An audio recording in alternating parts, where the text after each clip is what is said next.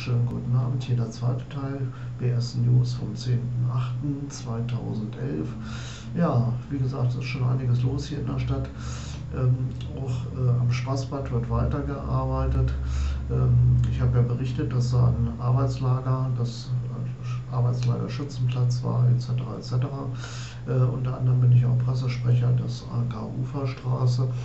Und äh, wir haben schon befürchtet, dass also, wenn hier die Bauarbeiten losgehen oder weitergehen, dass die Uferstraße Leute wieder terrorisiert werden. Ähm, ich habe dazu natürlich wieder äh, ein bisschen Filmmaterial über Vandalismus, der geschehen ist in der Uferstraße und äh, das zeige ich euch mal hier, bitte. Habe ich schon vermutet, Vandalismus hier, hier hat man den Zaun eingetreten in der Uferstraße. Ich habe ja schon mit gerechnet, dass irgendwas passiert hier, dass äh, hier wieder Randale passiert, dass man die Leute einschüchtern will. Und hier hat man eben die Zäune eines Grundstücks in der Uferstraße eingetreten, bewusst eingetreten. Eine kleine Badeveranstaltung an der Oger. Scheinen so ein paar Lebensmüde zu sein, die unbedingt von der Brücke ins Wasser springen wollen. Ich hoffe, dass das gut geht. Naja.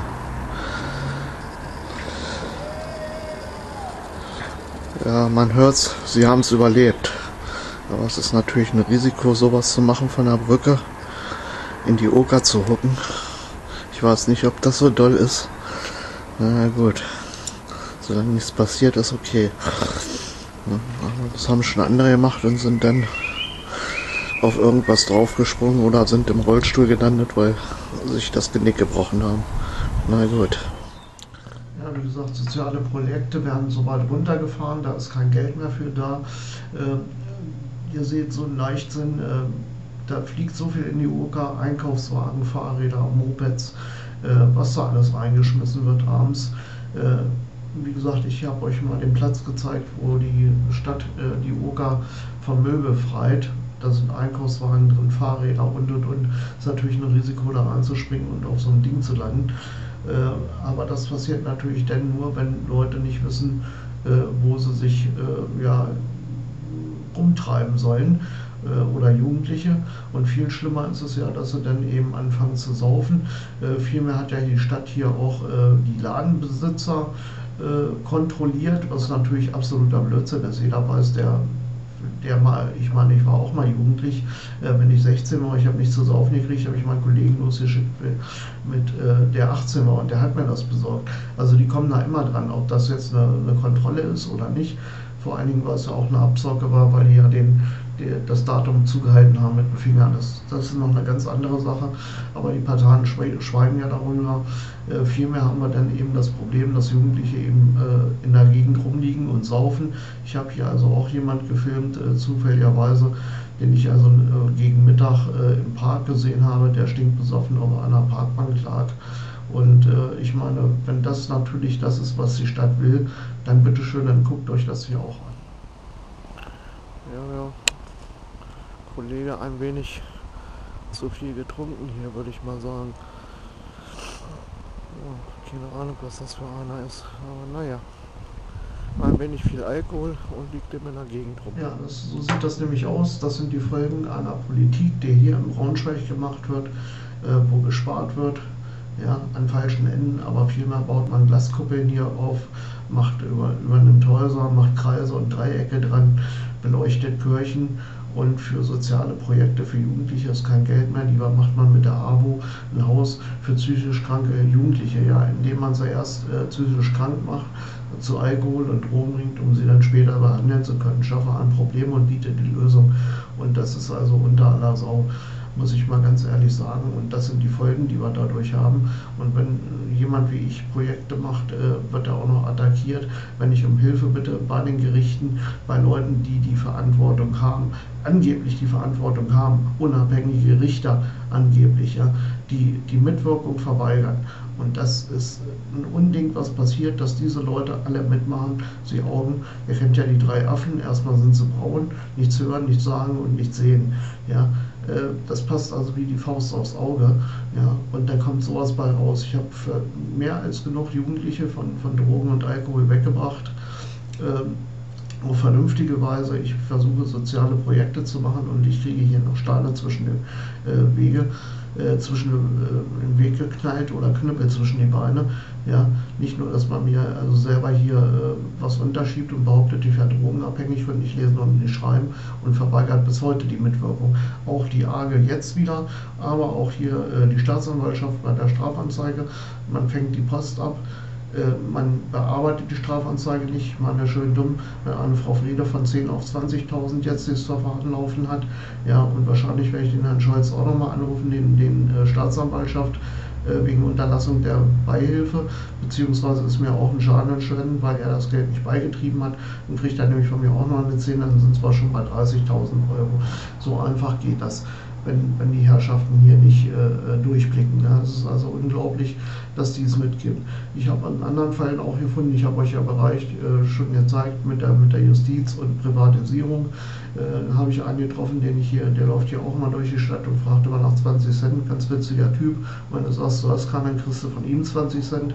Den haben sie jetzt auch für drei, äh, dreieinhalb Wochen weggebuchtet, angeblich wegen äh, Diebstahl. Der hat schon seine Wohnung verloren, er wohnt schon an der Horst. Das heißt, das, was ich als, als Arbeitslager bezeichne oder als Lagerhaltung bezeichne, und das war auch mit dem, den ich im, äh, in der JVA Wolfenbüttel getroffen habe, der drei Monate gekriegt hat, wegen Beleidigung, die verlieren ihre Wohnung, sie kommen in Obdachlosenheime und da kann man sie jederzeit wegbuchten und kein Hahn schreit mehr danach. Und das ist die Sauerei, die hier abgeht und das mit Hilfe der Justiz und eben auch der Argen, die das Ganze mitmachen. Äh, und was dabei rauskommt, habe ich euch gerade gezeigt. Wir haben Jugendliche, die in der Gegend rumliegen, die saufen oder eben die irgendeinen Blödsinn machen und sich in Lebensgefahr bringen von einer Politik, die hier in der Stadt betrieben wird. Und die ganzen Parteien halten die Schnauze und keiner sagt was, aber sie machen, wir machen die Stadt sozialer. und Scheiß machen sie. So einfach ist das. Ja. Und das ist also, wie, wie gesagt, ein Unding, was da geht. Ich vermisse jetzt noch einen, der immer bei Penny gesessen hat, ein junger Mann, auch ein ganz lieber Kerl. Den habe ich seit drei Wochen nicht mehr gesehen, wer weiß, wo der ist. Er ist ja auch krank, genau wie ich. Und äh, wer weiß, vielleicht haben sie ihn auch schon weggebuchtet oder ich weiß es nicht. Es ist also unglaublich, äh, wie hier die Leute verschwinden äh, und dann äh, findet, man sie im Knast wieder oder sonst irgendwo, nur damit sie ihre Privatisierung der Gefängnisse durchziehen können. Und das, wie gesagt, es gab ja jetzt auch ein Gerichtsurteil wegen dem Zusatzbeitrag, den Hartz-IV-Empfänger bezahlen müssen. ich nenne das Sozialraub auf Kosten der Ärmsten, der Armen, weil von Hartz IV kann man nicht leben. Und wenn denn die Leute auch noch, die äh, krank geworden sind und ihren Job verloren haben aus irgendwelchen Gründen, auch noch die Kosten für die äh, Krankenkassen übernehmen müssen. Das ist wohl, wenn dann ein Gericht sagt, das wäre nicht verfassungswidrig, dann weiß ich nicht, was verfassungswidrig ist. So, dann habe ich noch ein paar Beschwerden gehabt wegen der Stadtwerke Braunschweig, BNS Energy, haben mich ein paar Leute angesprochen. Ich kenne das ja auch schon, die Geld überwiesen haben, mehr als wie sie eigentlich sollten, haben dann dafür eine Mahnung von 4,50 Euro gekriegt, obwohl sie ein Guthaben haben, weil sie ja mehr gemacht haben. Jetzt äh, hat man mir verlauten lassen, ja, man müsste sich an das System anpassen. Ich meine, seit wann muss sich, eine, äh, muss sich der Kunde an das Computersystem einer Firma anpassen? Ich meine, man, es wäre ja wohl mehr als recht als schlecht, wenn die Herrschaften WS Energy ja, äh, sich den Kunden anpassen. Ich meine aber, was will man verlangen, wenn ein äh, Herr Dr. Gerd Hoffmann im Vorstand ist mit MPD-Vergangenheit, da wird gezockt ohne Ende und die Gewinne gehen nach Veolia. Es kann ja wohl nicht sein, wenn hier, wenn, äh, sage mal, äh, monatlich 40 Euro auflaufen und ich bezahle 50, dass ich dann eine Mahnung über 4,40 Euro kriege wo, gibt es denn sowas? Was ist das für ein Service bei der Stadt Braunschweig, BS Energy? Ja, aber vielmehr macht man sich da einen Kaffee rein und macht dann Veranstaltungen ja, auf Kosten der Leute, die dann äh, die Mahnung bezahlt haben. Und ein Großteil, 75 Prozent, geht nach Veolia, nach Frankreich, äh, was ja schon mal gar nicht äh, aufgrund der niedersächsischen Verfassung äh, machbar wäre, aufgrund des Dienstaltes. Aber wir wissen ja inzwischen, dass Braunschweig einen eigenen Regierungsbezirk hat. Ähnliches Problem ähm, ist aufgetreten beim, äh, bei der Verkehrs AG. Ähm, kleine Borgfahrstelle hat mich zweimal eine Dame angesprochen. Äh, das erste Mal hat sie ihre Fingernägel gemacht und war beleidigt, dass, sie, dass ich da reingekommen bin, obwohl äh, der Laden leer war. Ja, und wollte mich Ende, ist erst am 12. Äh, die Fahrkarten kaufen. Diesmal war ich am 1. da und sie wollte mich nochmal an äh, was das für ein Service, ob man Hartz-IV-Empfänger ist oder was. Sollte die Dame mich nochmal einmaulen, bin ich mit der Kamera da und da werde ich ein Interview mit ihr machen. Wahrscheinlich äh, passt ihr ihr Job nicht oder äh, vielleicht hat sie keinen Mann, ich weiß es nicht. Aber auf jeden Fall ist das nicht jemand, den man da im Kundenservice sitzen sollte, lassen sollte. Das geht ja wohl gar nicht. Und nochmal werde ich mich nicht anmaulen lassen. Da findet sich die Dame im Internet wieder immer in Nachrichten. Äh, vielleicht mal so einen kleinen Gruß an die Verkehrs AG Braunschweig. Mal gucken, wen, äh, wen sie da sitzen haben. Das ist eine blonde Dame. Ne? Die Herren der Schöpfung sind da alle ganz nett und freundlich, aber diese Dame äh, scheint sich da, äh, meint sie ist etwas Besseres und meint, die Leute da abkanzeln zu müssen. Kundenservice ist das auf jeden Fall nicht bei der Verkehrs AG Braunschweig. Über die Leerspende habe ich ja überall äh, gesprochen. Äh, vielleicht hier nochmal einen kleinen Anruf, äh, Aufruf auf, an die Hausbesitzer in Braunschweig. Äh, falls er einen leerstehenden Laden hat oder ein kleine, eines, eine kleine Wohnung oder sonst irgendwas. Die Piratenbüros, Piratenpartei sucht immer noch ein Büro, recht günstig. Also wenn ihr eure Läden nicht leer stehen wollen, lassen wollt, sondern äh, vernünftige Leute ranhaben wollt, wendet euch an mich oder an Oliver Schünemann von der Piratenpartei. Äh, geht bei Google rein, dann kriegt ihr auf dem Piratenwiki oder erscheint die Adresse. Das gleiche Problem haben wir mit der Plakatierung für die Kommunalwahlen, falls einer ein Gelände zur Verfügung stellen kann, eine Garage, eventuell mit Toilette und Strom, wäre das ganz nett, damit wir die Plakate fertig kriegen und die da einlagern könnten bis zur Kommunalwahl oder vor der Kommunalwahl für die nächsten Wochen. Auch bitte an mich wenden oder eben äh, an Oliver Schülemann von der Piratenpartei.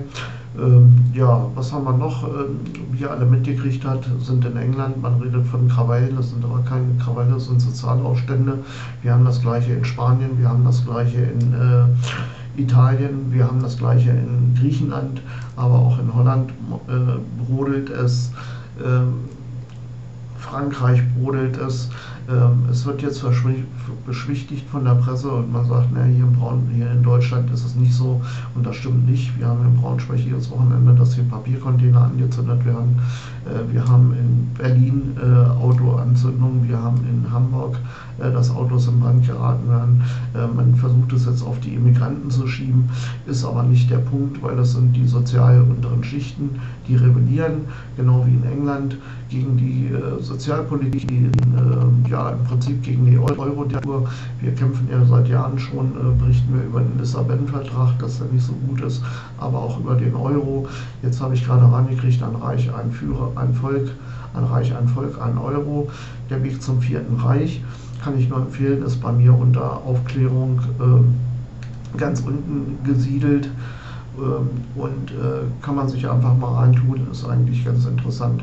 Wie gesagt, hier fehlt auch in, in Deutschland nur der kleine äh, Funke und dann springt das Ding über. Das wundert mich sowieso schon aufgrund der ganzen sozialen Unruhen und Ungerechtigkeit, dass hier nicht schon irgendwas passiert ist, aber der deutsche Michel ist recht langsam, das wissen wir ja alle. Und äh, nur wenn er losgeht, dann geht er los. Und dann, hier fehlt, wie gesagt, der kleine Funke, der ist, auch wenn die Presse versucht, es runterzuspielen, es ist aber so, der Sozialabbau geht immer weiter. Die äh, Gehälter der Reichen steigen. Ähm, wie gesagt, hier Luxusprojekte werden nach oben getrieben, soziale Projekte runtergefahren. Und was dabei rauskommt, habe ich euch schon gezeigt. Ja, soweit, so gut. Das war mal ein Bericht aus Braunschweig vom 10.8. von der Lucifer News. Äh, wie gesagt, ja, ich experimentiere gesundheitlich noch mit ein bisschen Kristallen, China-Kristallen, solange das noch möglich ist, nur auf die Frage meiner Gesundheit nochmal anzusprechen. Äh, die EU will uns das ja auch verbieten, dann noch Chemie kriegen, aber soweit das geht, benutze ich eben, wie gesagt, Wasser. Wasser war noch nie schlecht und daher Prost mit Salzwasser und schönen Gruß an Micha, falls das Video seht. Hier, ich habe mir was zusammengemixt, sieht ziemlich grün aus, aber lecker. Ja, soweit so gut von den Lucifer News. Bleibt schön sauber, bleibt trocken, damit wir uns bald wieder sehen. Zu den nächsten Lucifer News. Tschüss.